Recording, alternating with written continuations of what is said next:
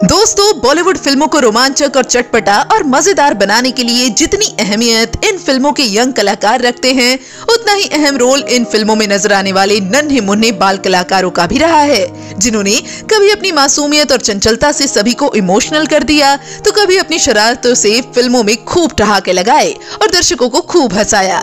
लेकिन क्या आप जानते हैं कि फ़िल्मों को मज़ेदार और चटपटा बनाने वाले ये बाल कलाकार बीते इन सालों में आज काफ़ी बड़े हो गए हैं और इतने अलग दिखाई देते हैं कि शायद आप इन्हें पहली नज़र में पहचान भी नहीं पाएँगे। तो इसीलिए आज की इस वीडियो में हम आपको बॉलीवुड इंडस्ट्री के उन्हीं चाइल्ड आर्टिस्ट से रूबरू करवाएँगे, जो बीते इन सालों में काफ़ी ज़्यादा बदल गए हैं। देर किस बात की? चलिए वीडियो शुरू करते हैं। नंबर एक, फातिमा सना शेख। नब्बे के दशक की सुपर डुपर हिट फ़िल्म चाची 420 में कमल हसन और तब्बू की बेटी भारती का किरदार चाइल्ड आर्टिस्ट फातिमा सना शेख ने निभाया था, जो उस समय महज पाँच साल की थी। पर सिर्फ़ पाँच साल की उम्र में ही ये देश भर के लोगों के दिलो दिमाग में छा गई थी। लेकिन आपको बता दें कि आज ये छोटी सी प्यारी सी भारती काफ़ी बड़ी हो गई हैं और अपनी उनतीस साल की उम्र में पहले से काफ़ी ज़्यादा खूबसूरत स्टाइलिश और गॉर्जियस दिखाई देती हैं।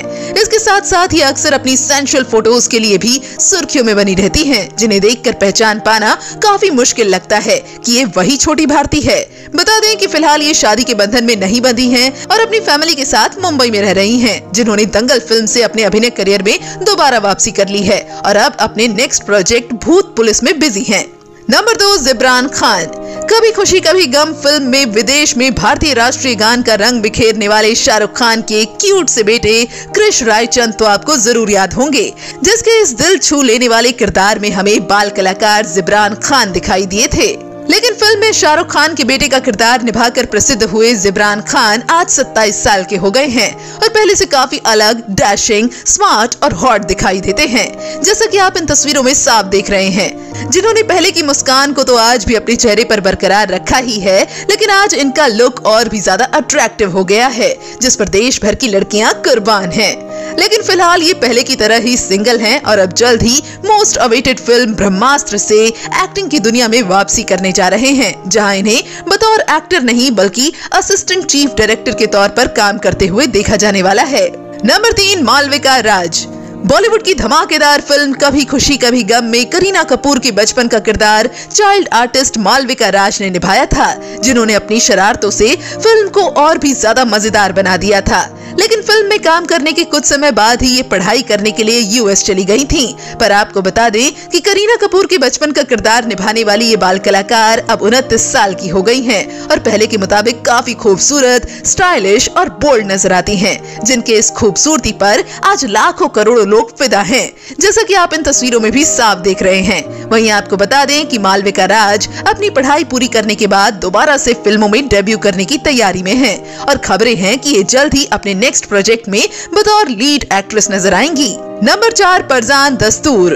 आपने बॉलीवुड की यादगार फ़िल्म कुछ कुछ होता है तो देखी होगी। और आपको छोटा सा सरदार साइलेंट सरदार याद ना हो, भला ऐसा कैसे हो सकता है?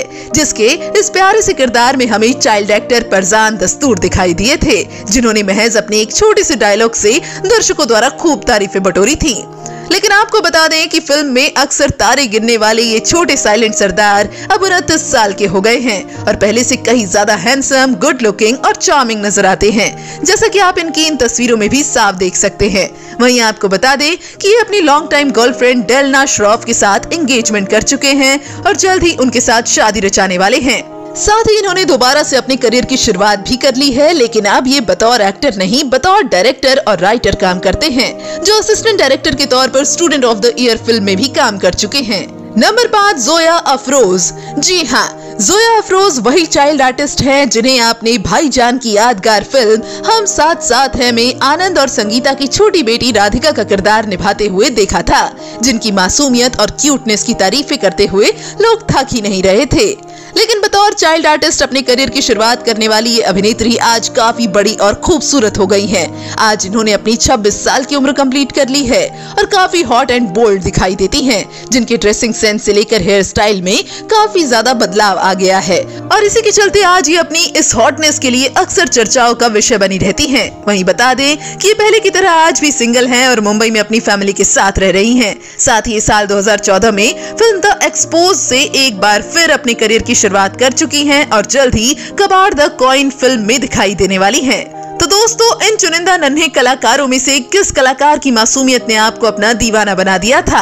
आप हमें कमेंट बॉक्स में कमेंट करके ज़रूर बताएँ। साथ ही बॉलीवुड जगत से जुड़ी ऐसी और मसालेदार खबरों को जानने के लिए आप हमारे चैनल को सब्सक्राइब करना ना भूलें।